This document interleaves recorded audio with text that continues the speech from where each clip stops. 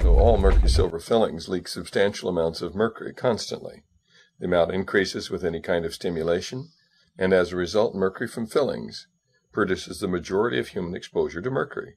The International Academy of Oral Medicine and Toxicology is extremely concerned about the anecdotal claims of safety by manufacturers and dental trade associations that are at variance with the published peer-reviewed scientific evidence to the contrary.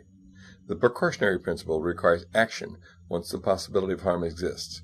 It does not require proof beyond a shadow of a doubt that in the case of heavy metal and xenobiotic exposure is both nearly impossible and unnecessary, in our opinion. What you're seeing is mercury vapor coming off a 25 year old silver amalgam filling in an extracted tooth. The background is a phosphorescent screen. The mercury vapor absorbs the fluorescent light, and you can see it as a shadow on the screen. This is mercury coming off a filling that was dipped in water that's the same temperature as the human body. This is a filling that was rubbed with a pencil eraser for just a few seconds. Like going to the hygienist and having her clean your teeth. These are not small amounts of mercury. If you can see it, it's more than 1,000 times higher than the Environmental Protection Agency will allow for the air that we breathe. What about the last time you went to the dentist and they drilled on your tooth?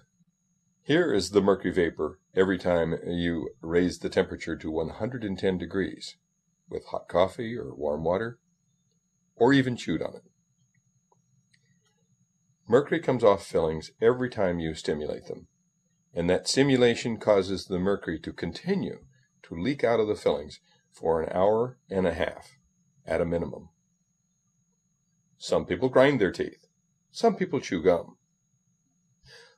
The dentist might send an old gold crown to the dental lab to be welded. How about the dental personnel? They're not being given informed consent. Back in 1985, the International Academy of Oral Medicine Toxicology set out to determine the amount of mercury that was coming off fillings. And here's the graph, showing substantial quantities of mercury were measured coming off fillings. And then we estimated the total dose. And then we began animal experiments and put radioactive fillings in sheep. Mercury accumulated in the jaw, stomach, liver, and kidney of the sheep in just 30 days. Substantial quantities of mercury spread from the fillings to every organ in that sheep's body. This should be of concern for everyone. Then we measured that the sheep's kidneys dropped in their ability by 60% to clear inulin, an indication of kidney malfunction. Whole body imaging of monkeys found exactly the same thing. Proponents of amalgam fillings claim that sheep chew too much. Well, what's the problem with monkeys?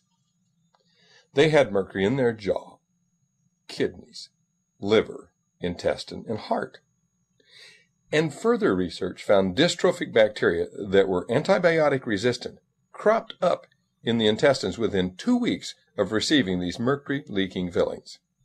Further studies have found damage to the ADP ribosylation of brain neuron proteins. In response to the controversy, and at the request of the Federation of Experimental Scientists and Biologists, Drs. Fritz Lorscheider and Murray Vimy wrote an editorial, the first ever in FASEB, that point by point refuted the claims of the amalgam proponents. In 1991, the World Health Organization acknowledged that the predominant source of human exposure to mercury is from your fillings.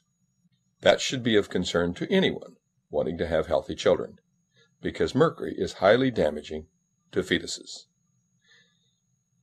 Experiments in sheep showed that mercury from the sheep's fillings transferred immediately to the placenta, to the unborn fetus, and to every conceivable portion of the fetus's body.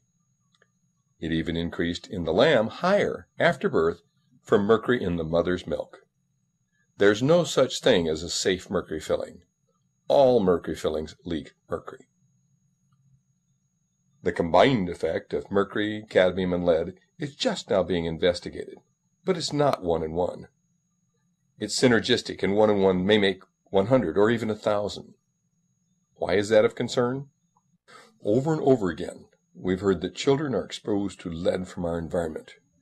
Mercury and lead is many times more toxic than just mercury alone. These black, corroded, pitted mercury fillings are used where you must drill away a third of the tooth in order to fix a pinhead sized cavity. Even if you love mercury, it's the wrong thing to do to the children. It leads to broken, diseased, root canal extracted teeth throughout the rest of the life. It's a blunder that costs the child all through their life. Millions and millions of dollars are spent annually fixing teeth again and again. And dentists don't follow the manufacturer's recommendations. They pack mercury in children around gold crowns, underneath bridges. They stuff it around the gum line in contact with tissues. There's mercury spreading from this gold crown to every tissue in that patient's body. Even if you like mercury fillings, putting that kind of filling in the tooth is simply the wrong thing to do. Harald Löe, the former director of the National Institute of Dental Research, back in 1993, wrote, The first filling is a critical step in the life of a tooth.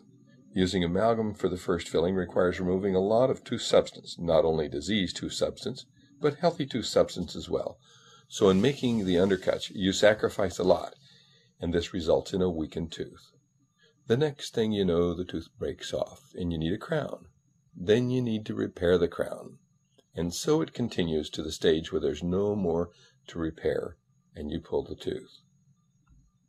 With the first filling, you should do something that can either restore the tooth or retain more healthy tooth substance. Use new materials, composites, or materials that can bond to the surface without undercuts. You can do this with little removal of the tooth substance so that the core of the tooth is still there. I would add that the cost of all that dental repair over and over again makes the cost of mercury fillings enormous, even if you don't consider the neurological impairment and the brain damage that they surely cause in dental personnel, and the infertility and the heartbreak that they've caused to so many families. It is the opinion of this Academy that responsible government agencies should prohibit the use of these fillings until such time as their manufacturers produce the alleged evidence of safety.